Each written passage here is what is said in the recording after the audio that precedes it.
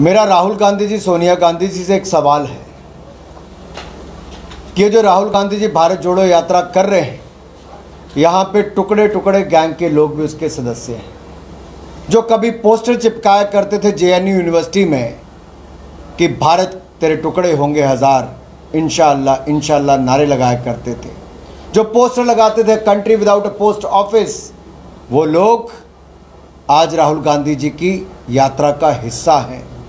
ये वही लोग हैं जो जेएनयू में भारत के टुकड़े करने की कल्पना भी करते थे व्यू रचना भी करते थे और राहुल गांधी जी रात को मध्य रात्रि को जेएनयू में लोगों से मिलने भी जाते थे। मैंने उस समय भी पार्लियामेंट में पूछा था कि राहुल जी देश के टुकड़े करने वालों के साथ है या देश को आगे बढ़ाने वालों के साथ और बचाने वालों के साथ है। वो चेहरा सामने आया है।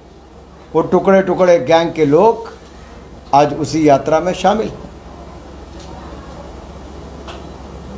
धन्यवाद।